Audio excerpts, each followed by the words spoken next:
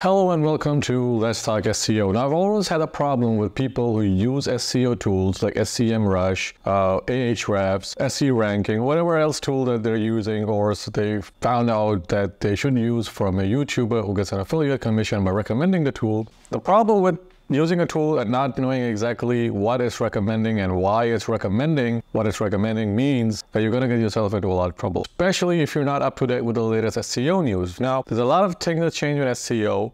There are many SEOs. I think the vast majority of SEOs don't even keep up with the SEO news. And so they give their clients bad advice. They do bad SEO, not because they intentionally want to do bad SEO, is because they're not aware of what's going on. An instance of this is people that think that they should submit a disavow file because they have a whole lot of bad backlinks pointing to their domain, when in fact, Google has said this maybe a year and a half ago, Uh, submitting a disavow file does not necessarily mean that your rankings will recover. Now, someone asked this on Reddit, and I'll put the exact question here on Reddit.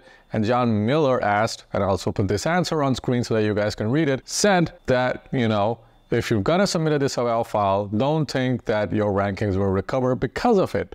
And now, in my opinion, and also in my experience, the three things that happen when you submit a disavow file, and I've seen this across all industries.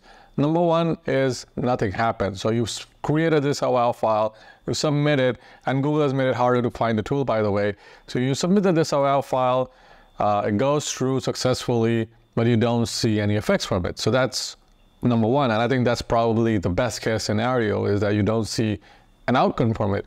The second outcome is you submit a disavow file and your rankings actually go down. And I've seen a lot of this going on.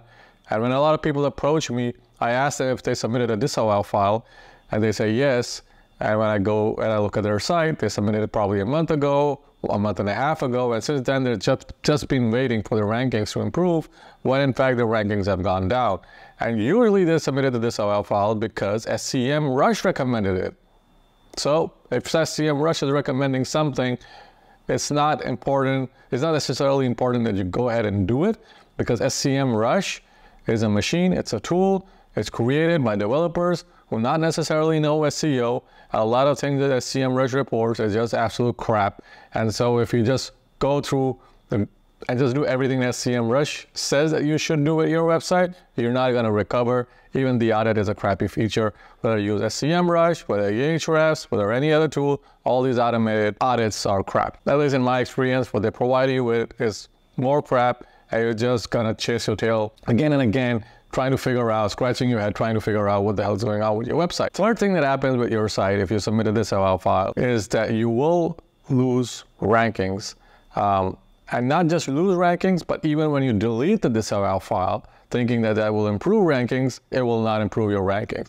So you can go ahead and delete all the disavow files that you submitted and your rankings will not improve even months later. And there's a way to recover from that and improve your rankings if that's the case and if all things are equal. But these are the three scenarios. And so I recommend to my clients always, especially those that use these uh, SEO tools, is you know don't just follow the recommendation of an SEO tool. It's a tool. It's there to provide you with information, but not all the information it provides you is necessarily important. And so in this case, it's actually dangerous because you could literally tank your site by following that advice by an SEO tool. Uh, I hope this helps someone. If you're looking that, if you're seeing a lot of backlinks, bad backlinks are coming into your website, uh, don't buy a disavow service. I know there's some that some SEOs that sell this crappy service. Don't buy a disavow uh, service. Don't submit a disavow file. Uh, there are other methods that you can use to do away with those backlinks, which I'm not going to discuss in this video because it will just make this take this video in a to totally different direction. But in a nutshell, if you see tons of bad backlinks coming in, then this disavow file is not going to work for you. Hope this helps you guys. Like and subscribe, and I will see you in the next video.